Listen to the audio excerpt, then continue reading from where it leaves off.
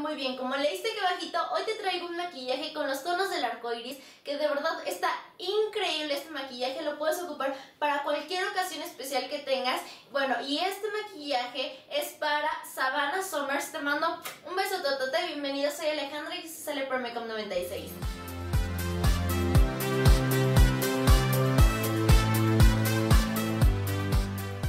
Bueno chicas, lo primero que vamos a hacer es aplicar nuestro corrector blanco como base y con una brochita planita vamos a colocar una sombra amarilla solamente hasta la mitad de nuestro párpado móvil, del lagrimal hacia la mitad. Tómense todo el tiempo que gusten, ya que bueno, este va a reflejar un poquito de luz.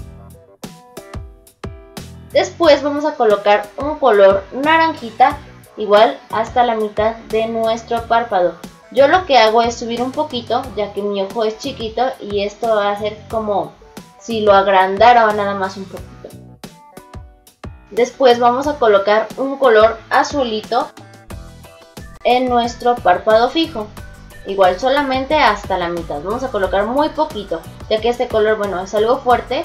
Y lo que vamos a hacer ahorita es difuminarlo, ya sea golpecitos, circulitos, que lo vayan jalando poco a poquito y es como ustedes se acomoden.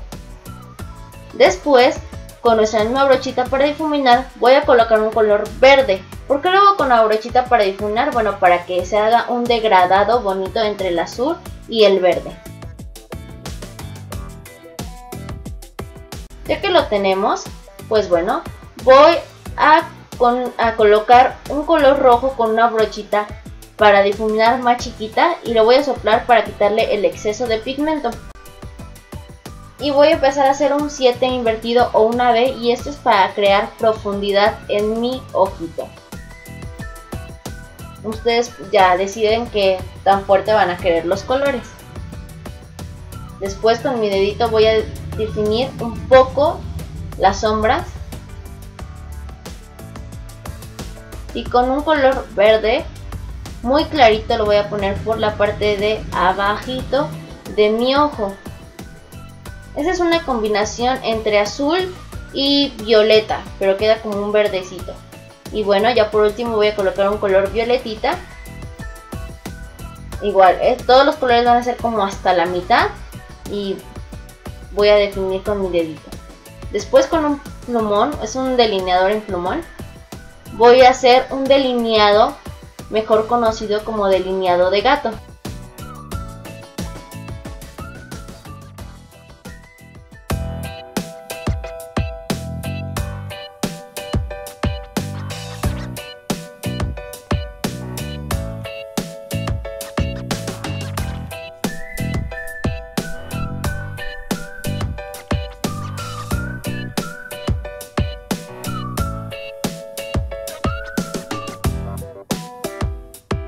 Y después con un delineador en lápiz voy a empezar a rellenar por la parte de adentro mi ojo mejor conocida como la línea de agua. Y después bueno pues voy a colocar mi máscara de pestañas por mis dos ojitos tanto arriba como abajo.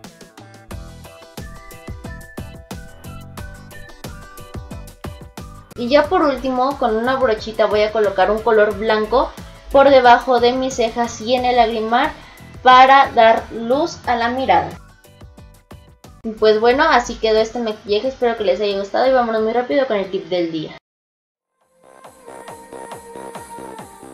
El tip del día es para obtener un labial mate. Está súper fácil esta idea, solamente vamos a necesitar que ya tengas colocado tu labial y también vamos a necesitar polvos, ya sean sueltos o polvo compacto, de los dos te va a servir de la misma manera. Ya sea con una esponjita o con una brochita, lo vamos a poner a golpecitos por todos nuestros labios. Y bueno, así te va a crear un labial mate. Está súper, súper, súper bonito el efecto y aparte es lo que ahorita se está ocupando muchísimo en tendencia. Y pues bueno, este fue el tip del día, espero que te haya gustado.